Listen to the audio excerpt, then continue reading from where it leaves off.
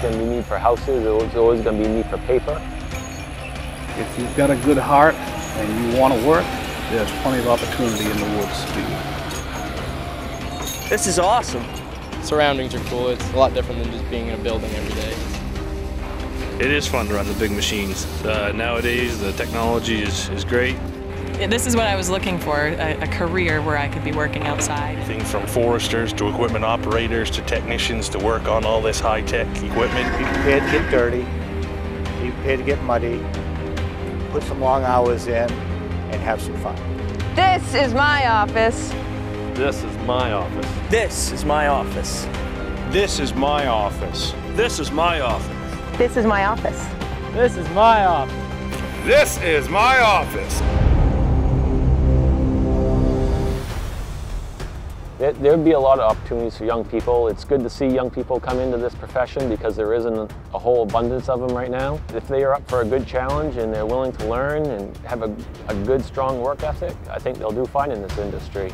We got an aging workforce that's set out to retire and young people can come in and really thrive in this industry. You know, there's, you know, there's good money in it. The harder you're willing to work, the more you can make. There's money to be made. It's a full-time job, it's a salary job.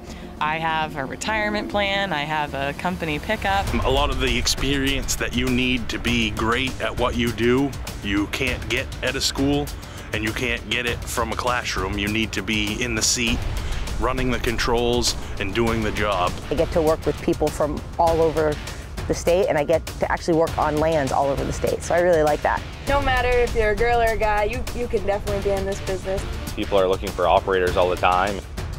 There are a lot of opportunities in the woods. There are no unemployed loggers. There's a lot of trees to cut, a lot of land that needs to be managed, and the opportunities abound. We work in all types of weather, the good, the bad, the ugly. Some days is brutal, I'll be honest. Some days it's windy or it's rainy or snowing, and uh, but I like that. The biggest thing you need is, is common sense and be a problem solver. I don't have set hours. It's more here's a job and you've got to get it done. And you need to be very flexible. Every day you come to work thinking, what is going to happen today? It's you have to learn from the old guys. They, you know, teach you everything. Uh, well, it's like they just they walk you through everything. They they've been around for a while. Obviously, they know everything. Any question I have, I can ask any of these guys, and they know. We would expect someone coming into this field to be right, teachable, willing to work as part of a team that uh, will enter into a place and leave it in a better condition than when they got there. When I'm thinking about what I'm going to do to a stand, I'm thinking what that's going to look like not for your kids, but for their kids. And so you've got to think into the future. As long as you treat it right, you're going to have forests into the future. Sustainability and taking care of the land is our number one priority, making sure that we have something here for the future while still remaining economically viable in the state of Maine. If you don't do a good quality work, there won't be anything to come back to. It's a renewable resource, it's sustainable. You know, we move the best products into the best places and it's a win-win for everybody. It's for the landowner, it's for the mills who employ other people, and uh, we make a good living at it ourselves. Today we run equipment that you have to have the skills of a pilot to run. Push whatever button you want, it'll automatically cut the tree, limb the tree, until it's ready, it'll stand back up and it's ready for the next tree. I have GPS and GIS mapping. I use the computer. A lot of times I'll use my iPhone to actually use it as a map. The, the cabs on these machines have been very comfortable. They're very well air conditioned, very well heated. Radio communication is good, visibility is good. They're, they're very powerful. They're fun to run. If you can run a computer at home, you can you can run a computer in here. No, you don't just slide into a, a half million or three quarter million dollar machine without some training, but we'll try to give people exposure to those things. Whether it be working on the yard, working on the equipment, we're always watching each other's backs and make sure that nobody gets hurt. We don't want anybody to get hurt on the job. Uh, so we're constantly talking about safety. You're completely armored inside the machine. You feel so safe. Everybody's job to, to think about safety and enact that plan. It's a moral responsibility uh, that everyone assumes that everyone will get home safe at night. It's not a one-man band. There are many people that, uh, that contribute to getting a raw product all the way to a store shelf somewhere.